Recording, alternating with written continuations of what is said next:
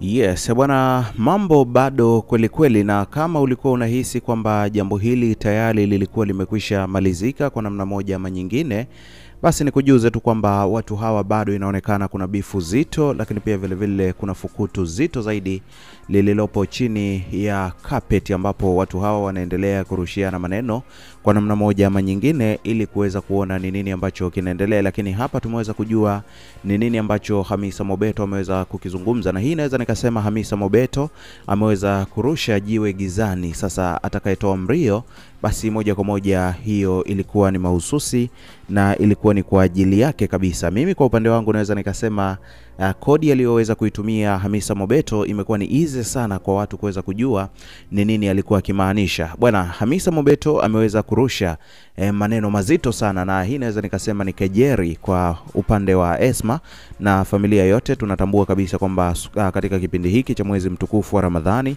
na sio mwaka huu tu, bali imekuwa ni mwendelezo wa miaka yote, Esma pamoja na mama yake wamekuwa ni moja ya watu ambao uh, hufut, uh, hufutarisha watu wengine pale dukani kwao, na limekuwa ni jambo zuri na imekuwa ni kawaida of course, kwa sababu uh, kama mtu kama Uchebe tumekuwa tukimwona siku zote na mara zote na hivyo si jambo geni sana. Sasa nini ambacho ameweza kukizungumza Hamisa Mobeto? Bwana, tunatambua Hamisa Mobeto na hii familia hawajawahi kuwa na jambo jema au hawajawahi kuwa na jambo dogo hata siku moja.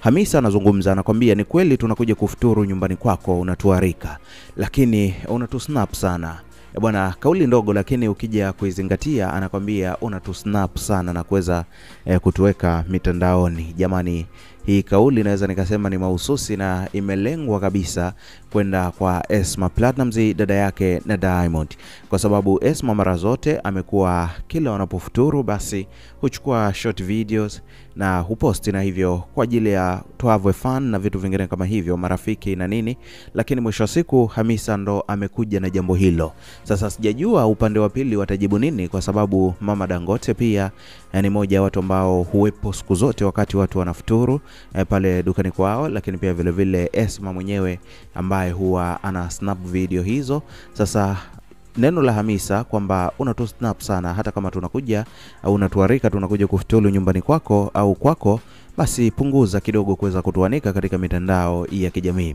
Bwana, hawa watu sekeseke lao lilianzia pale ambapo Hamisa ilidaiwa kwamba amezaa na Diamond Platnumz, lakini mwisho wa siku ukweli uliendelea kuvumbuliwa siku hadi siku, na mpaka pale ambapo ilikuja kujulikana kwamba Hamisa Mobeto alikuwa amekwenda kwa mganga. Sasa haya mambo yamezidi kuwa mazito kweli kweli jamani, na inaelezwa kwamba hata yule uh, za ndani hizi si official kwamba eh, yule mtoto si wa mwamba. Sasa sijajua ni nini ambacho kinaendelea lakini inaelezwa kwamba eh, mama Dangote pamoja na Esma wamehusika kwa namna moja ama nyingine.